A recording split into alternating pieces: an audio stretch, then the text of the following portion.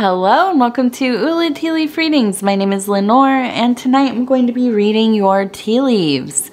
This is a horoscope for Taurus. If Taurus is your solar, lunar, ascendant slash rising sign, then this is a message for you. Okay, let's get started.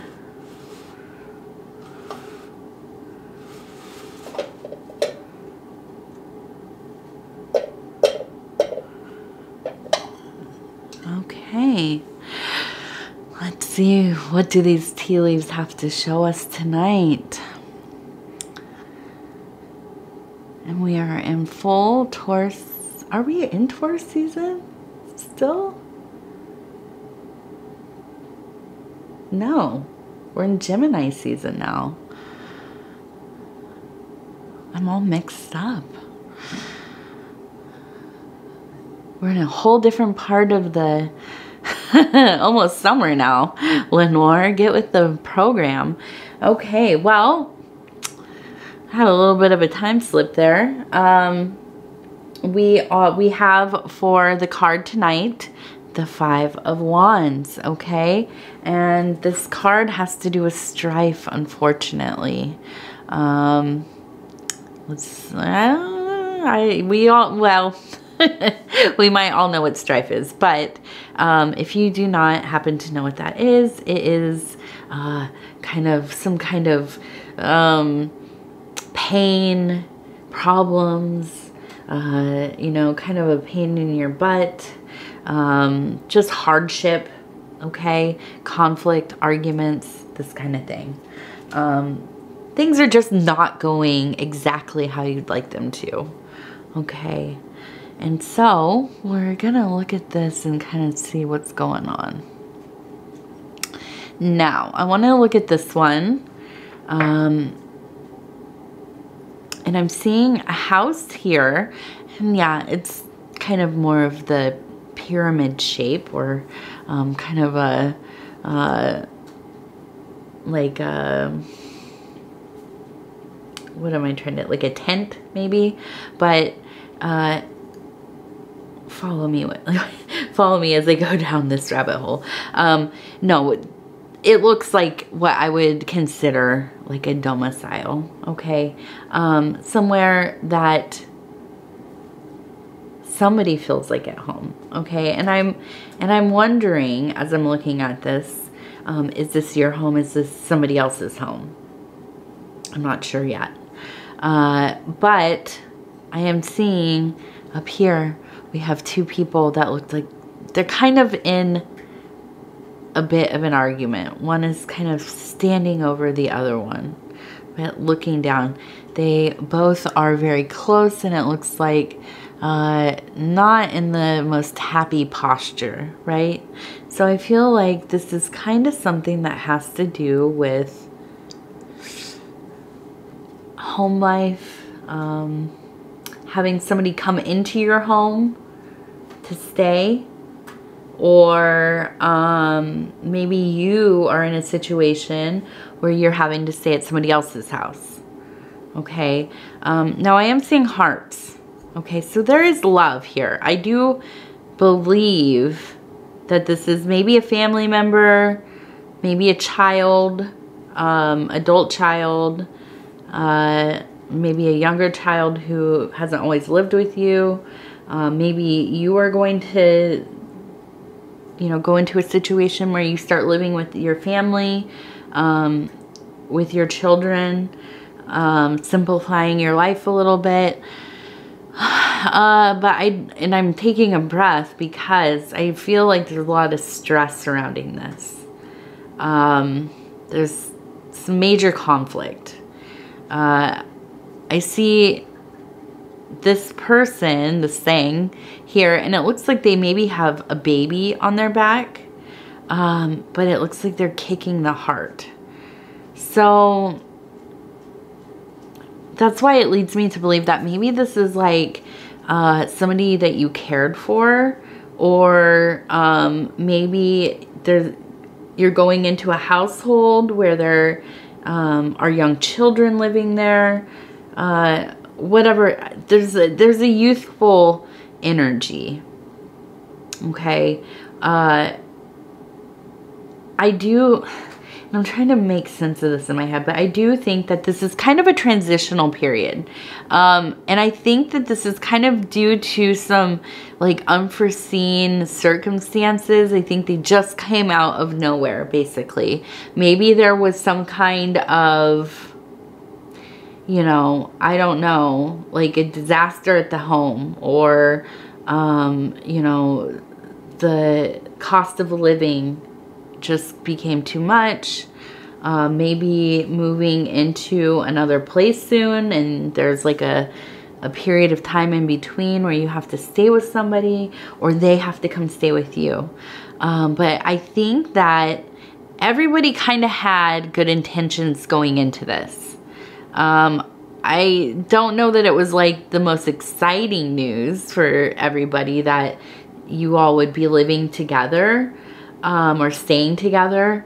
Uh, but um, I think that it has not been ideal. Um, and I wonder if maybe you haven't lived with anybody for some time. Um, that's so difficult to go from a situation where you have your own space to having um, other people live with you. If it's romantic or otherwise, um, even if you don't see them that often, it can be stressful just to know somebody is sharing the same space as you. Um,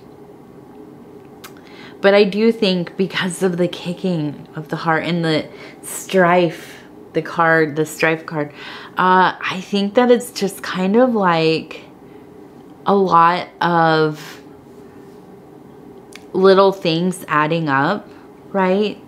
maybe some messiness around the place. Um, maybe, you know, uh, and this this is like in my mind a throwback to my roommate years um, when somebody would eat your food um, or like move your food around um, and accidentally leave it outside of the refrigerator for like 12 hours and it would spoil um, things just kind of disappear. Not big things, right? But just things disappearing, little, you know, toiletries or whatever. And um, you try to just, you know, whatever. But gosh, it adds up, doesn't it? I mean, financially, but more more so than that, it's just being in a situation where um, you just aren't feeling comfortable in the space that you're in. You have to kind of really take um, more notice of your things and, you know, where are they and are they missing or have they been misplaced? Has somebody been, has somebody been using my toothbrush, you know? Um, just kinds of things that you don't you don't really want to have to think about. but um, I do think that this is not going to be forever. This is not a long-term situation. I think this is transitory. Um, so we must remember ourselves and remember that these emotions that are coming up, these circumstances that have arisen, they are transient. They do not last. They will pass through us, pass through our life. We will pass through them, however you want to picture it. Um, and we will be on to the next thing soon. I see this bird. Okay, and it looks like, oops, touched its tail. Sorry, bird. Um, the big beak, and it's kind of standing on the one foot. I imagine, um, I think they're called, jeez, it's like a snowbill something. I can't remember. I always try to remember this guy because they look like dinosaurs. They're huge birds. Um, they're like not as big as an ostrich, but they're pretty big. They're bigger than um, like a heron, but anyways, they're they're beautiful, but they're also just like grotesque and scary looking. They look like a Muppet and a dinosaur bird.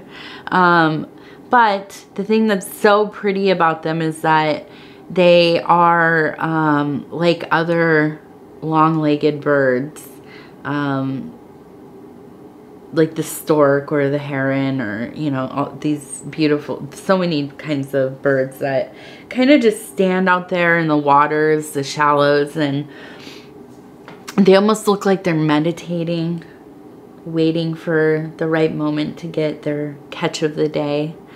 And um, I feel like you are really, really mustering up all your strength to get into this place where you can just kind of zen out, get through the things that are happening, coming to your center, allowing the chaos to do what it does, not getting too attached to these feelings or events.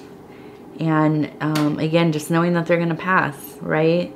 Trying not to take it too personally. Everybody in the situation is uncomfortable. Um, you know, it's it's just hard. It's hard to take somebody into your house. It's hard to be um, in somebody else's house. So um, I think that, you know, to try to remind yourself it'll be done and you will, you know, you're either going to go back to your house being the same or you will be in another living situation that probably will be better. Um, you know, I would really try to refrain from engaging in the argument, arguing, the, um, you know, any kind, of course, no altercations or anything like that. Um, but just kind of staying away from the conflict as much as you can keeping your stuff as tidy as you can, you know, um, and accounted for trying to just, you know, not, in, not engage too often.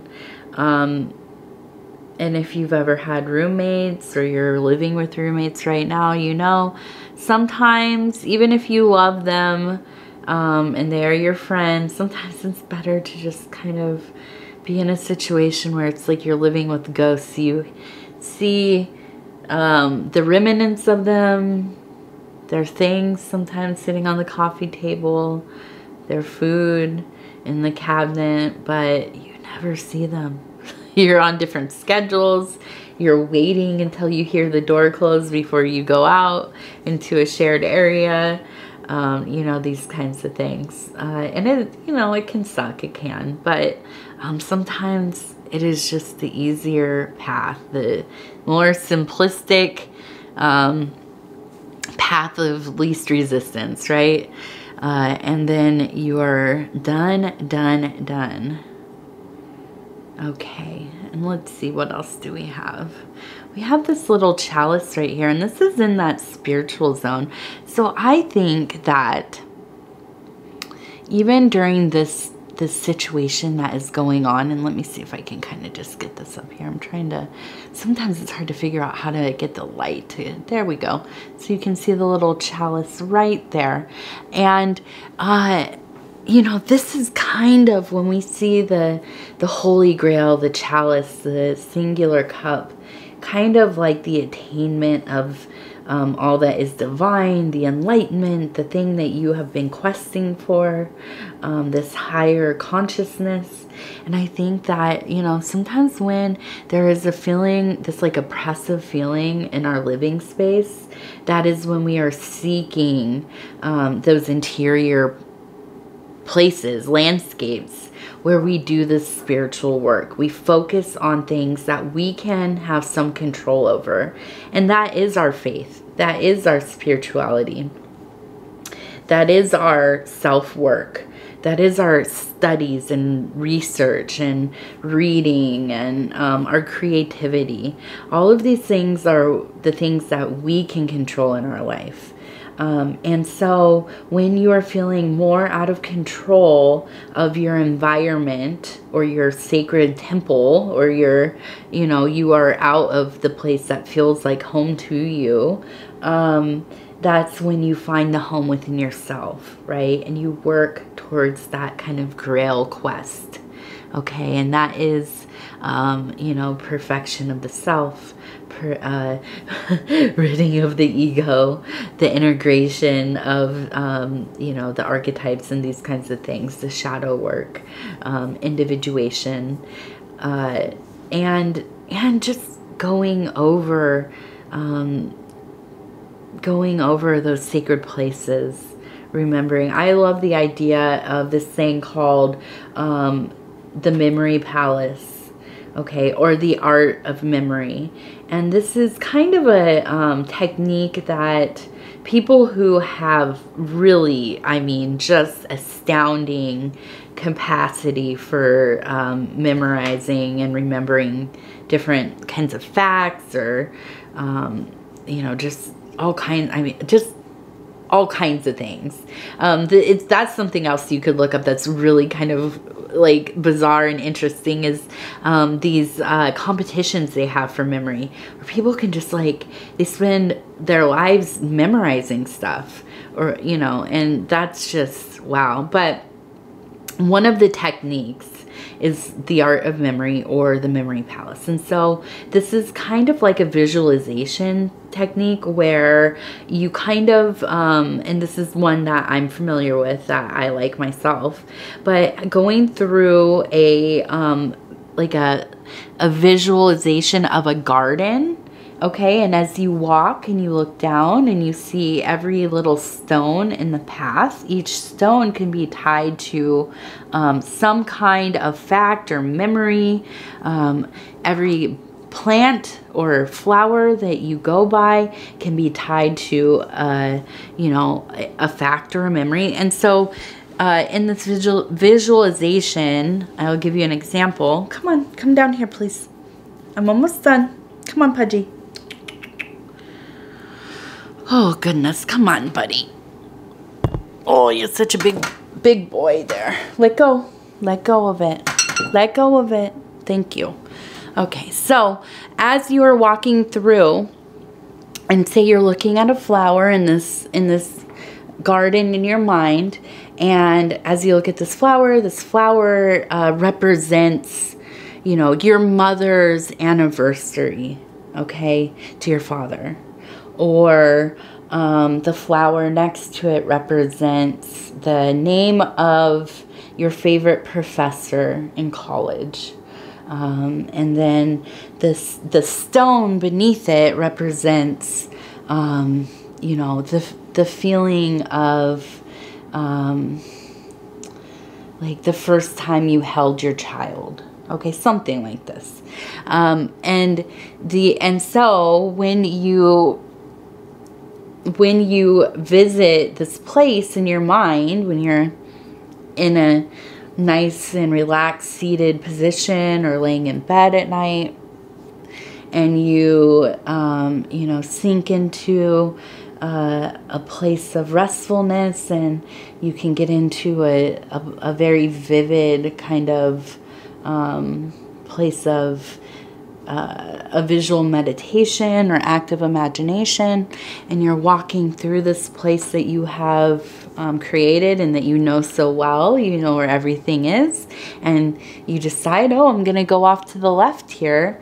and this is where I visit all of my, you know, memories of love and, you know, the first loves of my life, and, um, you know, all those beautiful summer days I spent swimming with my friends and, you know, the first time I went to a drive-in movie and, um, you know, I got my driver's license and how did that feel, you know, driving with the windows down and the, the wind blowing through your hair and these kinds of things. Um, so it's an interesting technique and I think that um, it's something that you know, we could all use, of course, people do use them for more kind of, um, probably more um, productive memorization or, you know, whatever, um, facts and things, scientific facts or something.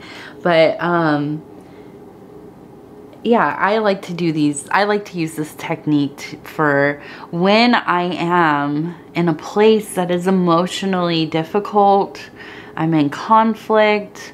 Uh, I've been in a um, kind of a bleak landscape of depression or melancholy, which sometimes I can for months at a time barely, you know, function. Not so much as in I've gotten older, but especially when I was younger. And, um, and I just could not figure out. I had a lot of trauma and stuff that, um, things going on, a lot of death in my life. And, so anyways, I would, um, I came upon this, this, uh, this technique and, uh, kind of even tied to, um, this uh, Saint Teresa of Avila, she has the um, interior mansion, which is not unlike the Memory Palace. And um, there are some interesting books. There's actually um, a really interesting book, and I the author escapes me, but it is called uh, Spir Spiritual Pilgrims, and it's about um, some the Jungian techniques of active imagination mixed with um, uh, the Teresa of Avila's uh, interior mansion or interior castle, and um, these are really interesting. Um, exploring your the depths of your faith, your um, many uh, aspects of self and archetypes and um, experience and non-experience and um, you know, just uh, basically really getting in touch with the um, unconscious, the collective unconscious, all of these things, but doing it through um, the intentional process of um, visualization and building your interior landscapes. Um, some people kind of relate this, I think, and maybe is a little, I don't really do astral work myself, but I think it's not unsimilar.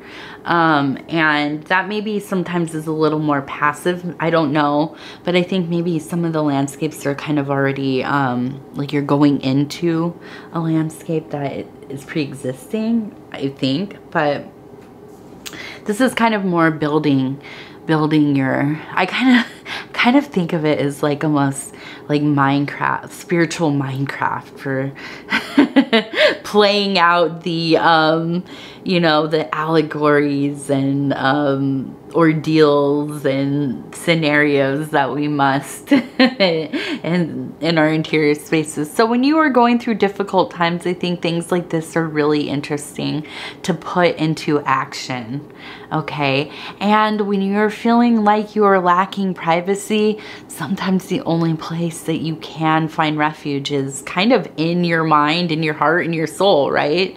So, um, you know, I think that uh, doing things like this, being proactive about, you know, just finding a place for yourself so that you can um, have some peace and, um, and also fortifying yourself you know um, i think that's the other thing is you become um, more and more tempered um, to these very uncomfortable situations um, when you are doing that very important interior um, work for sure. Okay. All right, now I want to look at this and it looks like, I mean, how I thought it would look pretty much very emotional, okay? But I also am looking at this and I'm thinking that there are some seeds being sown here and um, almost like a field being, uh, you know, sown with seeds. And so I think in this troubling, hard time, it is really motiv motivating you to get some things done okay? Um, kind of you are pried out of the comfort of however life was previous to this and you're having to get some stuff done.